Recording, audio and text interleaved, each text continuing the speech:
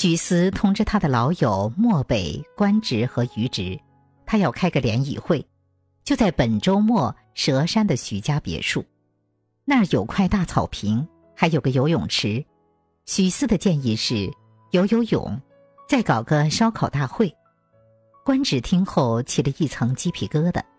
四个男人在荒郊野外游泳、烧烤、看星星，这未免浪漫的有些不合时宜和十分莫名其妙。许思反问：“那去西区夜总会吗？”官职怅然的叹了口气说：“这么多年了，我都忘了西区的夜总会的门是往哪边开的了。”那么也只好四个男人去荒郊野外聊聊天，想想柴米油盐的心思了。对于这种建议，漠北和于直是一向没什么意见的，只是都说要向家里那位告假。徐思拉着漠北，不管怎么样，你一定要来。漠北点头，他也知道徐思有些话想同他讲讲。前几日，漠北的妻子莫向晚向任职五年的公司提出辞呈，这是同漠北仔细商量后的决定。漠北夫妻俩都晓得，这话要是一出口，江湖同徐思都会有反应，故此莫向晚把下家工作敲定以后，才去同江湖谈出了这话题。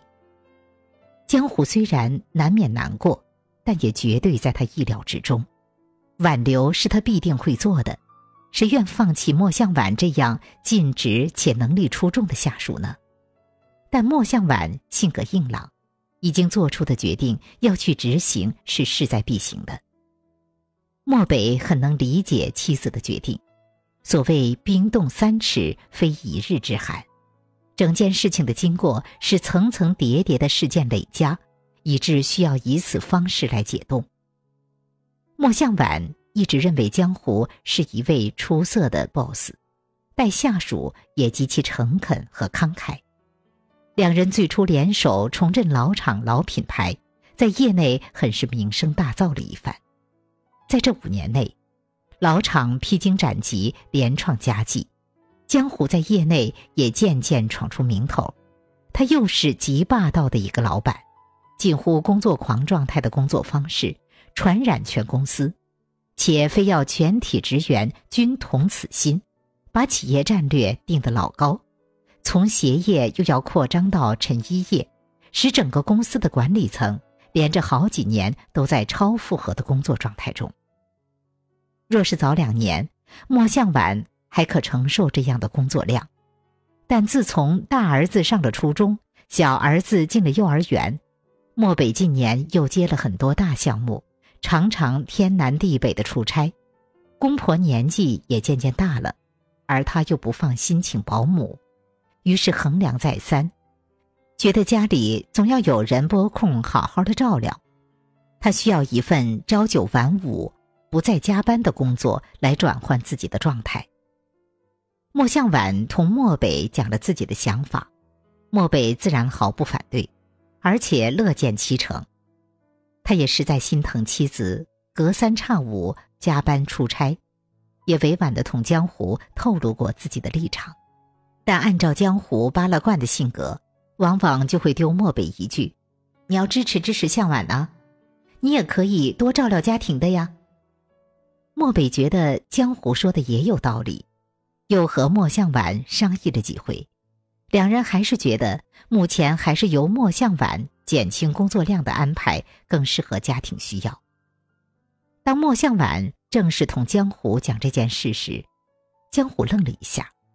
才无奈的讲：“我知道，早晚会有这么一天的，只是没想到会来的这么快。难道女人最后还是要回归家庭吗？”莫向晚忙说：“是我的现状让我放不下两个孩子，也不能给老人添加负担。由我照顾家里，会比漠北照顾更合适。两个孩子现在都到了比较关键的需要照顾的时候，不过……”如果换作是你的话，你会有你更好的解决方式，对不对？江湖抚着小腹，脸色铁青，赌气的说道：“结婚和生孩子这两件事都是太麻烦了。他同许思恋爱多年，始终没有正式步入婚姻的殿堂。同许思家里头往日恩怨情结是原因之一，许思母亲方墨平始终对他俩关系不置可否是原因之二。趁着好风上青云，让事业更上层楼，才是最重要的原因。腾越鞋业这五年的发展势头太好了，他根本不愿意浪费一分一毫的时间，让机会稍纵即逝。他想，他的努力可以再见父亲的昔日王国。然徐思未必是这么想。实际上，徐思明里暗里求婚不下十次。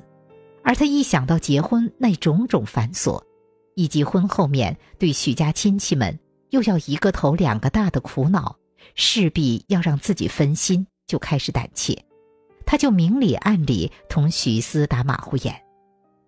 许思只好旁敲侧击，时不时领着墨菲小哥俩或官家龙凤胎，或者活泼可爱的小球球玩耍，甚至带回他们同居的小屋。过把带孩子当家长的瘾。莫向晚家里那一向观察力敏锐的大儿子莫非就对徐思说过：“徐叔叔，我看着您挺累的，其实您想到爸爸就直接和江湖姐姐说吧，当男人当的这么婆婆妈妈的干嘛？太没意思了。”徐思为此噎得一个礼拜没有开过晴天的脸。许思倒是确实被莫非这个初中生的一句话给开了窍了。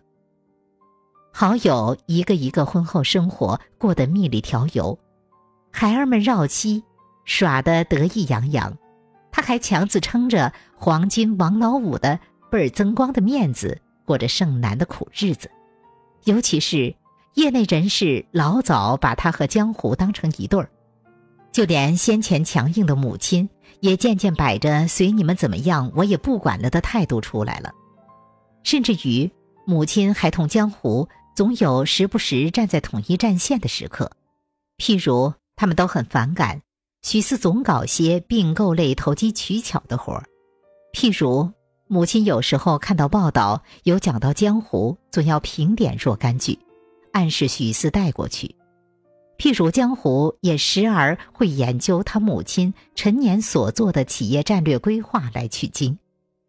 两个事业型女强人明明老早对对方欣赏有加，却总是避着对方行事，而且都对成为一家人带着防备的芥蒂。这就是女人爱计较的劣根性。偏偏她要深受其害，甚至被初中生奚落，太没面子了。许思想，由着他们俩如此这般，让自己落不到半点好处，这一点都不是自己一贯的作风。做男人是不应该婆婆妈妈的。江湖被查出怀孕以后，消沉了好几天。徐思壮若大度的讲：“这样，你把公司授权给我，我对你们那一套还是很熟悉的，管个一年半载不是问题，总不会让你亏本。”江湖狠狠的瞪他：“凭什么我得生孩子呀？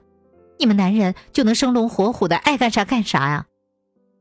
许思皮笑肉不笑的说：“哼，生理结构不同，有什么好抱怨的？总之你放心，以后我绝对不会干涉你的事业，让你自由翱翔、自由发挥。腾越做到世界五百强，我也是你背后的男人幕后的黑手。”他想自己早该觉悟。不能事事由着江湖做主，剥夺无数人生乐趣。但是江湖的大小姐脾气发了起来，不论他如何求肯，就是不愿意去领证。许思策略成功，执行失败，急得像热锅上的蚂蚁，只好请来朋友们出谋划策。但目前的情况让他有点傻眼。譬如，目前坐在自己面前的于直。说是过来给创意，但实际上捧着手机和他家闺女说了无数甜言蜜语，而且没有要收电话线的意思。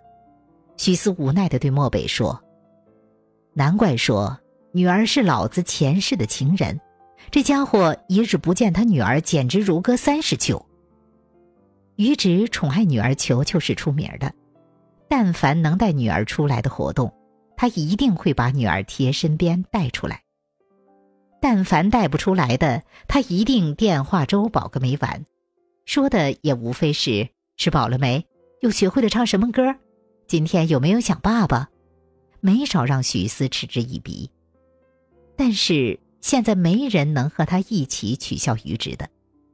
那边的官职也在给家里通电话，好像是他的儿子佑佑接起来的，隔着老远，许四都能听到佑佑在电话里奶声奶气的大声哀求：“最最好的小爸爸，给我带个巧克力回来吧。”官职哄着儿子说：“你爸我没空啊。”佑佑在那边说：“那你在干嘛呢？”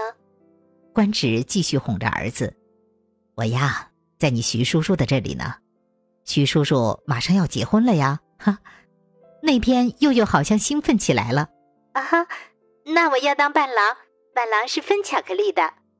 官职说：“哎，你这年纪只能当花童。”佑佑的小脑袋瓜思索了一阵，花童有巧克力吃吗？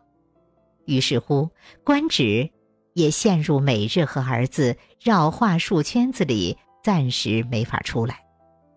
最后，许四只好拉着漠北讲话。向晚辞职，我压力很大。他愁眉苦脸。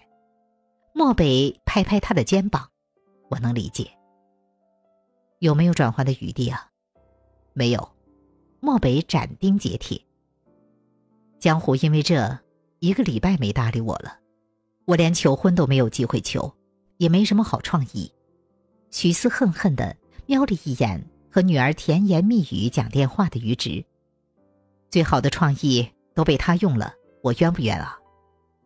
漠北耸耸肩，表示爱莫能助。但是徐思说：“所以你得给我负责呀，解决我这一大难题。”和儿子斗完绕口令的官职凑过来说：“那还不容易啊？公开示爱，没有回头路。”和女儿甜蜜夜话结束的余直也在一旁说道：“我看也只有这个解决办法，我可以把我们网站的视频广告免费送你。”徐思患得患失，万一他还是不同意呢？他把目光投向了漠北：“你好好的想想，这可是你和你爱人欠我的。”漠北很是无语，他想了半天说。也只有俗气一点来了。在浦东郊区的南段，隔着主干道的两边，由总计占地一千亩的巨大建筑群矗立，气派依旧非凡。尤其隔道两边主楼间还修了封闭式天桥，重新安装了新的玻璃幕墙，幕墙外挂着这一段巨幅 LED 广告屏，成为张江至南汇段。最受人瞩目的一块广告牌儿。这栋曾经辉煌的工厂建筑，在五年前被分拆拍卖给四间中型服装厂和两间外资鞋业品牌做加工厂，产权十年。只是这一条横跨两地的封闭式天桥，因为归属两边工厂群一边一半，产权分属三家工厂。近些年，三家工厂抢夺广告权，争得不可开交。但就在近期，这个问题解决了。三家工厂的负责人统一了意见，作价将这一条天桥卖了出去。江湖每次路过这条路，看到这条天桥，就觉得是在跨越自己心上最后一座难以跨越的新桥。尤其现在沿路段工厂渐多。这一段也会在高峰时段堵车了，因为客观因素延长了他渡过这座天桥的时间。今日就是这样，他是参加南汇的展会归程，撞上下班高峰，路上无可避免的就得通过这段天桥，也意料之内的，在天桥前的绿灯闪停前被堵住了，待到红灯闪过，绿灯又起，前方车辆。毫无挪动余地，江湖还是被堵在原位。看来今天的路况实在是糟糕了点儿。江湖百无聊赖的又看向天桥。今日的天桥有一点不一样。江湖仔细的看了看，和他印象中的不一样。因为天桥分属三家，所以从来缺人打理，一直灰头土脸又孤孤单单的架在这里。但是今天，天桥被清理干净了，玻璃幕墙像是新的，还多挂了一块 LED 的广告屏，正在播放着台标，是某知名视频网站的广告。猝不及防的，江湖看到了徐思出现在 LED 屏上。他被吓了一跳，心想：徐思什么时候去给他们徐峰的饮料拍的广告片呢？屏幕上的徐思，穿着江湖看得眼熟出讲子的白色西服西裤，他对着屏幕外的人笑了笑，挺帅的。江湖想的有点得意，比徐峰集团的其他男明星代言人要帅得多。屏幕里的许思。对着屏幕外的人开始说话了，但是江湖听不清屏幕上的许思说的话，只能看屏幕下方的字幕。五年，你可以做一份很有激情的事业；五年，你也可以彻底融入另一个人的人生。徐太太，徐思在屏幕里张开了双臂，一臂指南，一臂指北。再等一个五年。你就可以重新从这里的南边走到这里的北边，但是现在，这里已经属于你，以后这里都会属于你，这是我对你一生的承诺。他潇洒的把手指一指，指向后方，正是天桥所在的方向。江湖根本反应不过来，他只是惊讶的望住大屏幕，他向来灵敏的头脑在这个时候停机了。而屏幕上的许思，将手收回来的时候，捧上了一大束洁白的像漫天星辰的碎花。捧着花的他，低头片刻，似乎有点脸红，但他很快抬起头来，对着屏幕微笑。这时候，江湖的手机响了起来，他接通时，才发现旁边车道上并行着一辆老式别克。他和对方几乎同时摇下了车窗，许思正拿着手机对着他微笑。你知道这是什么花吗？江湖嘟嘟嘴。你知道我不懂花。许思说：“这是最普通的芥菜花。”江湖问：“所以呢？”花语是为你献上我的一切。江湖不想脸红，可是忍不住脸红。就像屏幕上捧着花的徐思一开始那样，他又望向了屏幕，屏幕一瞬暗下来，然后渐渐起了一层云雾，幻化成一匹奔腾的马的形状。马蹄扬起的云雾之间，缓缓的浮现出一行广告语，占据了整个屏幕：“我的城市，我的生活，属于你。”江湖一震，熟悉的广告词。就此时，就在这里，用这样的方式再一次出现在他的眼前，而且写着“属于你”。他眼前浮起了一层水雾。我把天桥买下来了，以后天天播腾越鞋的广告。五年后，我们一家就可以把左右两边的工厂再买下来，挂上红旗的招牌。徐思用声音蛊惑着他：“嫁给我吧。”江湖忍着莹洁的泪意，低斥：“求婚，也求得这么市侩，只有你了。”徐思流里流气的说：“这是我们共同的风格，不是吗？”江湖握着手机不语，许思只好无奈的大吐苦水。为了让你看到这广告，我可是横算竖算你的经过时间，做了无数方案，跟着你走这条路走了十来次。终于抓住了今天千载难逢的时间差，这可不比你当年做腾越方案花的时间少啊！江湖依旧不语，许思继续动之以情。我今朝跟着你开了很久，等你在南汇开完会，一路跟过来，掌握时间，安排机会，就怕错过了最好的时间，紧张的我午饭还没吃。江湖着急了一下：“你这家伙做事还是这么糊涂，不吃饭你想饿死啊？”徐思借机再接再厉：“怎么样，江总觉得我这个方案可行不可行啊？能不能签合同？”江湖扑哧一笑，正要回答，这时红绿灯下的交通警朝着他们这个方向走过来，并且吹起了警哨。江湖和徐思都不敢怠慢，都坐直了身体。交警走到他们两个车的中间，公事公办地说。驾驶机动车拨打电话，妨碍安全驾驶，一次记二分，罚款二百。麻烦两位把驾照给我。